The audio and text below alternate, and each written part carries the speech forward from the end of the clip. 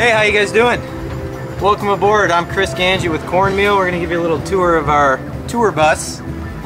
For all your viewers at home, this is what we do. We spend, I always tell everyone in the band, we get paid to travel, not to play. So we spend probably 90% of our time in this bus when we're on the road. Come on in.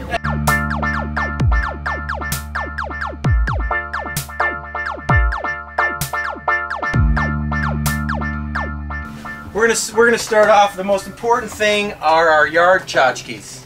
This is like the front yard of our home. We got bobblehead Yoda. He always stays. Everybody else kind of changes in between. Right now we've got the Seeker and the Snake. They guide us on our way.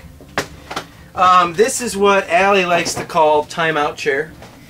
This is our uh, captain's chair. this is where our navigator co-pilot spends most of their time as well as the driver's seat right here and the big old MCI wheel. This was an old Greyhound bus before we converted it. We gutted it all out.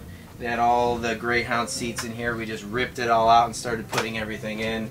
Um, and it's been about a four-year conversion we dealing with this. Um, but uh, we're getting close to the end of it all. It's almost finished.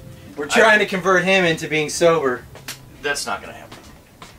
Um, but yeah, we've got plenty of room. There's usually eight of us, eight to nine of us that tour with us um, uh, at any given time when we're on, depending on the tour from East Coast to West Coast or whatever. So uh, we've got plenty, plenty of room, but it does get tight. I think we did the math, and it's about 285 square feet for eight people. Yeah. You know, So so it's like uh, it's really 30 no square space at all. feet per 30. There's about 30 square feet per person, so we stuff everything away wherever we can, get it out of the way. The most important cabinet right here is the liquor cabinet.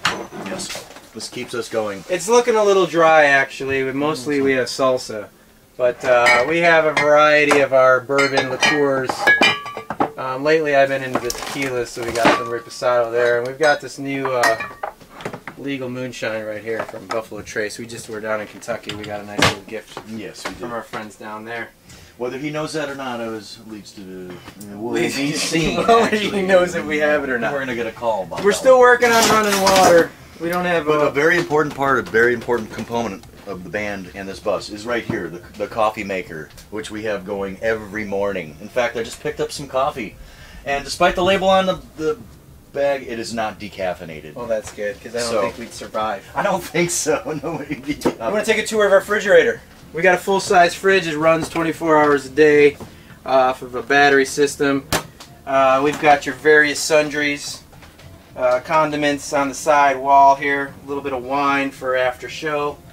Uh, we've got an assortment of uh, vegetables, a lot of uh, organic foods and such. We try to keep healthy on the road. Um, but the bottom, the bottom's our beer cooler. No guests allowed down there. Um, up top, you know what you need: burritos, roasted vegetable enchiladas. These things save us on the road.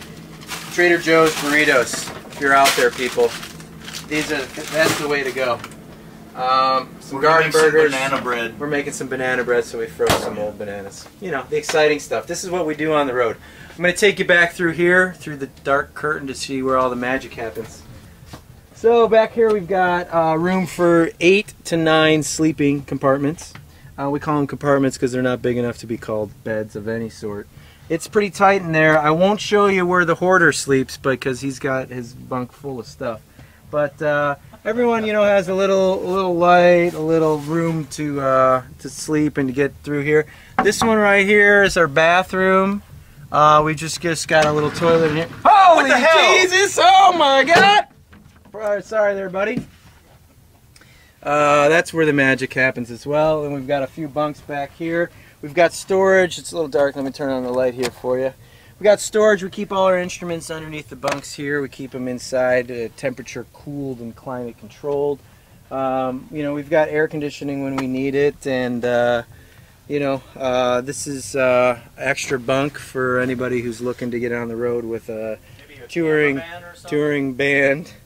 Um, we got one extra bunk right now open to the public, so we'll let you know.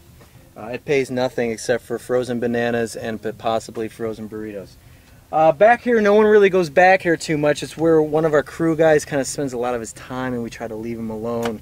Like I said, space is tight, so I don't know what I'm going to find out when I get. What the hell? Oh my God! What the hell are you guys doing? That's what he spends his time doing, pretty much. Piss Um, off.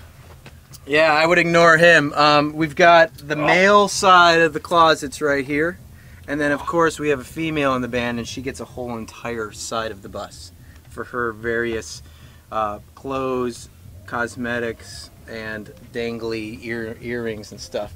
Um, this this room has been not converted because everyone's scared to go in here at this point. Um, but that'll be the last part of the conversion. Sorry to bother you, man. That's all right. Continue It's doing what you're doing. right.